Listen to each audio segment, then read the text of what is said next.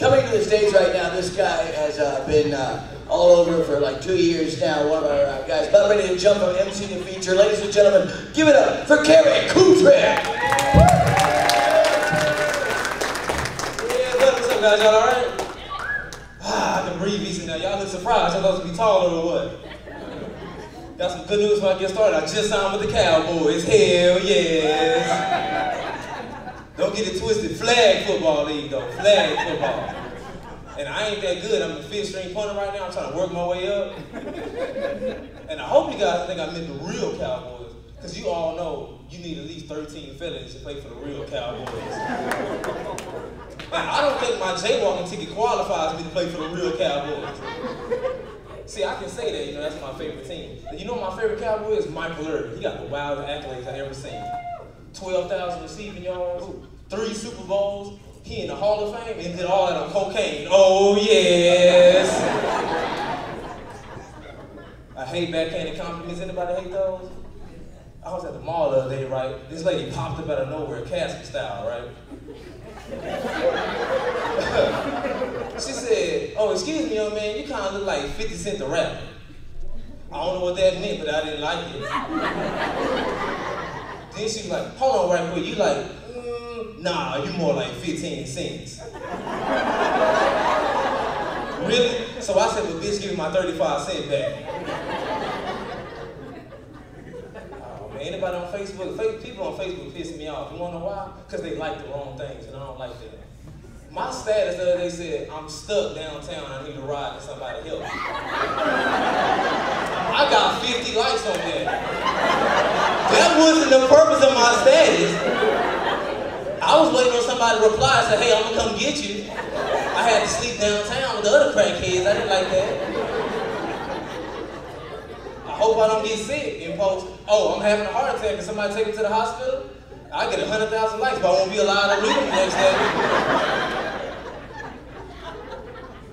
I don't know about you guys, but I love crackheads. Anybody like crackheads?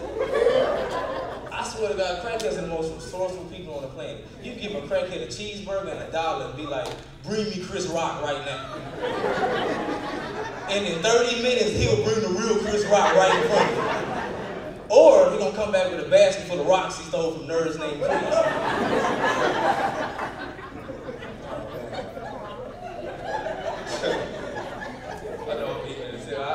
I'm originally from Houston, Texas. My city. The only thing about Houston I don't like is the humidity, right? Houston has to be the most humidest place on the planet. I say humidest, I don't have a degree, okay?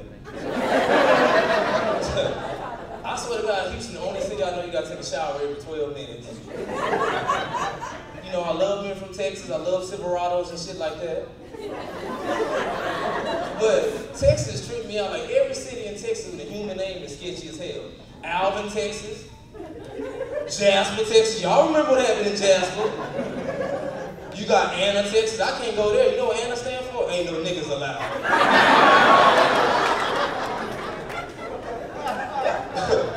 then you got Orange, Texas. I don't know why they call it there. I've been there. Ain't no oranges out there.